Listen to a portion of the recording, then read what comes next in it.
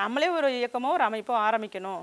அப்போ அந்த இயக்குனர் அறிமுகப்படுத்துறதுக்கு நாங்கள் தயங்குறோம். இருந்தாலும் பார்ப்போம் சந்திப்போம்னு சொல்லி ஒரு முடிவு பண்ணுறோம் அப்போ சந்திக்கிறோம். அப்போ நாங்கள் இந்த மணி நேரம் பேசி உரையாடல் பண்ணும்போது நீங்கள் கட்சியில் இணைங்கம்மா அப்படின்னு சொல்கிறாங்க உங்களுக்கு நல்ல திறமை இருக்குது உங்களுக்கு நல்ல பொறுப்பு நாங்கள் போட்டு கொடுக்குறோம் அப்படின்னு சொல்கிறாங்க அதாவது எனக்கு அப்போல்லாம் அரசியல் கட்சியில் பொறுப்பு அப்படின்றதெல்லாம் எனக்கு ஒரு பெரிய விஷயமாலாம் எனக்கு பெரிய விஷயம்னா எனக்கு பொறுப்புனா என்னன்னே அவ்வளோவா ஒரு தெரியாது. நான் வேறு கட்சிகளில் இருந்ததில்ல. கட்சிகளை உற்று நோக்கிக்கிட்டு அவங்களோட லோக்கலாக அந்த பாலிடிக்ஸ் பற்றிலாம் எனக்கு அவ்வளவுக்கு தெரியாது வெளிநாட்டில் இருந்ததுனால.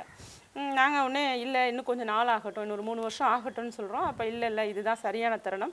ஜெயலலிதா அம்மையார் இறந்து போயிருக்காங்க. இந்த தருணத்தில் இவங்கள மாதிரி லேடிஸ்லாம் நிறைய பேர் அரசியலுக்கு வரணும் நல்ல அரசியலை முன்னெடுக்கணும் அப்படின்னு அட்வைஸ் பண்ணுறாங்க நாங்கள் யோசிக்கிறோம் அப்படின்னு சொல்கிறோம் அப்புறம் திரும்ப ஒரு மீட்டிங் இருக்குது நீங்கள் கலந்துக்கணும் அவசியம் கலந்துக்கணும்னு சொல்லும்போது எங்களுக்கு ஓகே ஏதோ ஒன்று நம்ம நாடு சார்ந்து தானே பண்ணுறோம் கொள்கைகள்லாம் நல்லா தானே இருக்குது அப்படின்னு சொல்லிட்டு நான் பாட்டாளி மக்கள் கட்சியில் இணைஞ்சிட்டேன்.